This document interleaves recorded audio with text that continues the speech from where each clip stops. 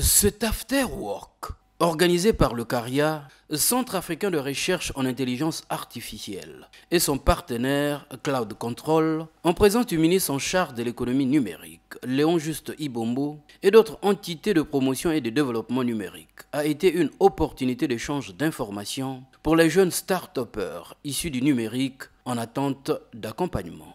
Nous allons beaucoup plus parler de la relation entre le CARIA et les start-up comment nous allons bâtir cette relation, comment nous allons réinventer les choses ici euh, au Congo, quels sont les services que le CARIA va fournir aux startups, quels sont les avantages que les startups vous allez obtenir du CARIA lorsque vous serez labellisé CARIA?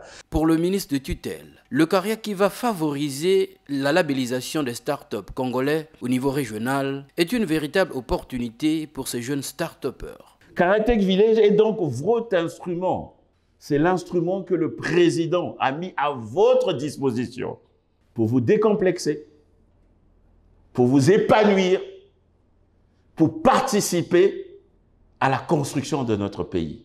Ce jeune entrepreneur qui n'a pas caché sa satisfaction salue cette volonté du gouvernement à les accompagner. Avec ce genre d'accompagnement, je pourrais vraiment euh, atteindre mes objectifs euh, dans la sous-région euh, CEMAC. Le carré qui promeut l'intelligence artificielle se veut être une institution dont l'objectif est de booster toutes les initiatives dans le domaine du numérique.